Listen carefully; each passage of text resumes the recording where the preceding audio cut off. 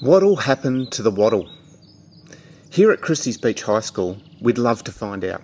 We're really passionate about Indigenous vegetation.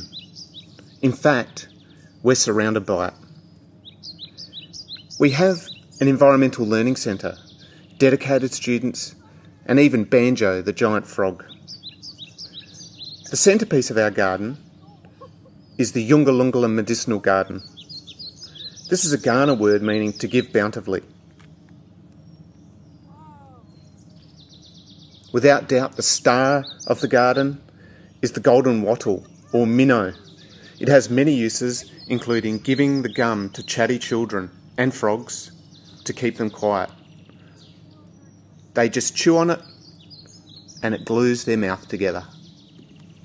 We've got lots of golden wattles at our school growing in our garden, and we often go out and collect the seed so that we can propagate them and grow more.